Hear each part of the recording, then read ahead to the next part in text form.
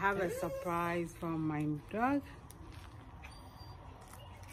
It's normal food and I'm just adding some pomegranate seeds on it.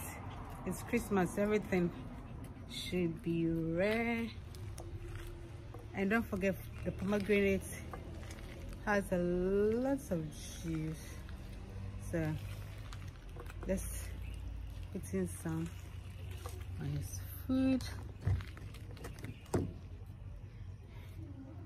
It's Christmas. So let's get some food.